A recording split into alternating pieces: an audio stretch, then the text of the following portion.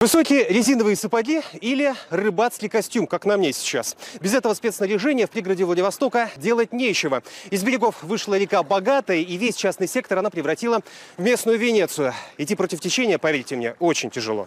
Бурный поток хлынул в жилые кварталы после сброса воды из двух водохранилищ. Мера была вынужденной. Сильные дожди, которые не прекращаются во Владивостоке уже вторые сутки, переполнили искусственные водоемы. Городские службы накануне предупредили жильцов, стоящих неподалеку домов. Многие люди успели эвакуироваться самостоятельно и разместиться у родственников. Но некоторым все же понадобилась помощь спасателей. На резиновую лодку Кристина и ее сын-школьник погрузили чемоданы. Семья торопилась в аэропорт, чтобы вернуться домой в Канаду. Такое первый раз в жизни со мной, с нашей семьей. Но вот ребята спасли нас просто. Спасибо им огромная городская служба. Хорошо, что там была грязь. А если там не было грязь, дом бы все затопился у нас. Да, да. Дорога в аэропорт, впрочем, тоже не обошлась без приключений. Площадь перед терминалом ушла под воду. На регистрацию пассажиры бежали по глубоким лужам, а водители оставляли машины за сотни метров от аэровокзала. Автостоянку основательно затопило. Многие отъезжавшие опаздывали на свои рейсы. В аэропорт они добирались дольше обычного по перемытым трассам. Полтора десятка улиц в городе превратились в озера. Движение по дороге на популярный пляж Шамара было и вовсе заблокировано. Чтобы предотвратить массовые аварии, автоинспекторы перекрыли трассу.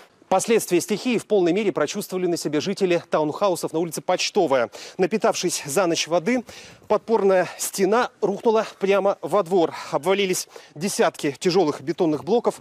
Вот мы видим, как один из них забаррикадировал входную дверь.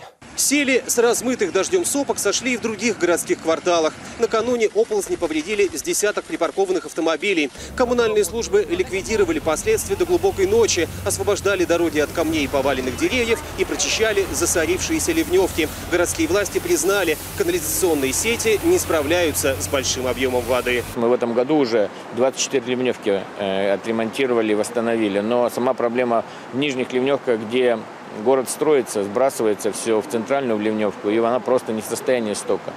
Ну, я думаю, что мы сделаем выводы и будем в планах ставить именно это большие затраты для города.